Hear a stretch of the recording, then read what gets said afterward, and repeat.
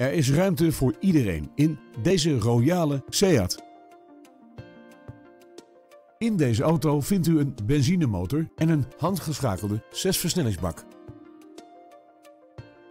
Neem plaats achter het stuur en verbaas u over het ruimtelijke interieur. Dankzij veiligheidsvoorzieningen als ESP en mislampen voor bent u steeds veilig onderweg.